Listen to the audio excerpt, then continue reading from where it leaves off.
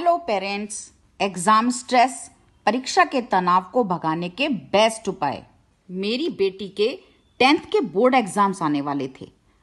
अचानक वह बिल्कुल उदास होकर मेरे पास आकर बैठी।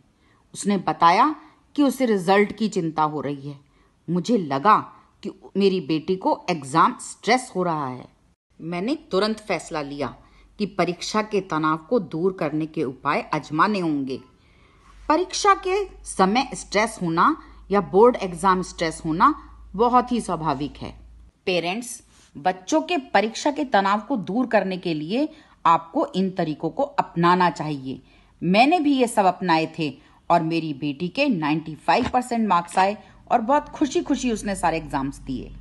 नंबर वन मोटिवेशन मैंने अपनी बेटी को परीक्षा की चिंता में देखकर बहुत प्यार से बात की। मैंने उसको बताया कि परीक्षा का तनाव लेने की कोई आवश्यकता नहीं है। तुम सब कुछ बहुत अच्छा करोगी। उसके चेहरे पर चमक आ गई। उसका आत्मविश्वास बढ़ गया था। पेरेंट्स, आप भी बच्चे से प्यार से बात करें। न डांटे, न मारे। इससे बच्चे की टेंशन बढ़ेगी। नंबर टू, मार्क्स का प्रेशर। मैंने बेटी से कहा कि मुझे तुम्हारे मार्क्स का कोई भी प्रेशर नहीं है। तुम भी बिना रिज़ल्ट की चिंता किए तैयारी करो। अब उसकी आँखों में तेज चमक आ गई थी। पेरेंट्स, आप भी बच्चों पर मार्क्स का दबाव ना बनाएँ। बच्चों पर परीक्षा का तनाव कम करने के लिए उनकी हेल्प करने की कोशिश करें। अगर बच्चों पर मार्क्स का दबाव रहेगा, वे स्ट्रेस में रहेंगे और अच्छा परफॉर्म नहीं कर पाएँगे।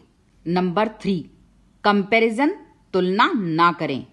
मेरी बेटी ने बताया कि उसकी एक सहेली ने पाँच बार कोर्स को रिवाइज किया है।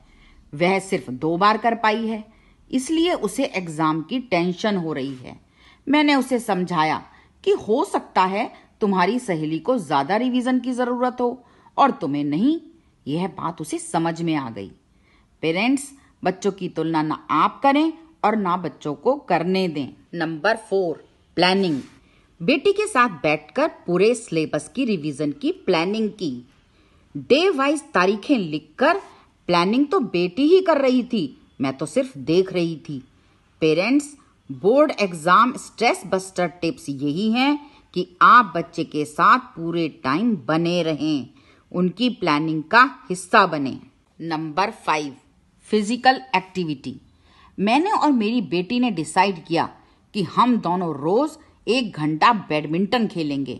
पेरेंट्स फ़िज़िकल एक्टिविटी करने से बच्चे के अंदर ऊर्जा भर जाती है। हैप्पी हार्मोन रिलीज़ होते हैं। परीक्षा का तनाव कम होता है, ब्रेन तेज़ी से काम करने लगता है और मेमोरी पावर भी बढ़ जाती है। एग्ज़ाम के दिनों में कोई ना कोई फ़िज़िकल एक्टिविटी बच्चों को ज़रूर करनी चाहिए।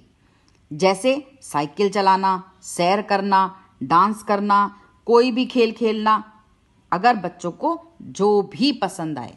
ऐसे ही और एक्सीलेंट उपाय जानने के लिए आप हमारी साइट www.maonduty.com को गूगल सर्च करें।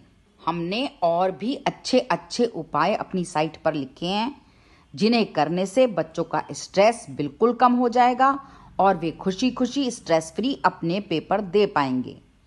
All the best happy parenting link description में भी है।